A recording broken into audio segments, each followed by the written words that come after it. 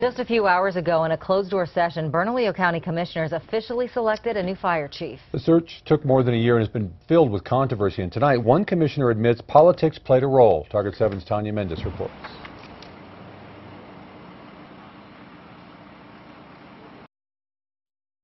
By morning, one of these candidates will receive a formal offer to lead Bernalillo County's fire department. Are you happy with the pick? I'm, yeah, I'm happy with the pick. We'll see whether or not they take it. We'll see.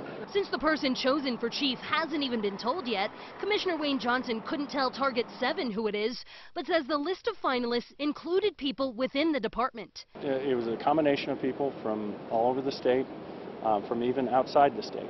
Target 7 has been trying to get the names of those finalists for weeks now, and we were told even in this email that our public records request would be honored by today, the 13th. That didn't happen. The search for this chief has taken more than a year and has been wrought with controversy. From whether the county staff should be choosing the chief instead of the commissioners, to pay-to-play allegations that commissioners were playing favorites. Johnson admits this search has been political.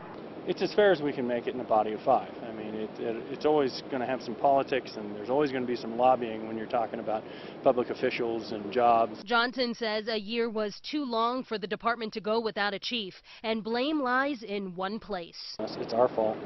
Um, we shouldn't have let it go this long, and it, we owed more and better to the men and women of Bernalillo County Fire Department. Johnson hopes this choice will give Bernalillo County Fire the leader it deserves. For Target 7, I'm Tanya Mendes. The commission is holding a meeting Friday to publicly announce the pick. Johnson says there could be a chief in place as soon as Monday.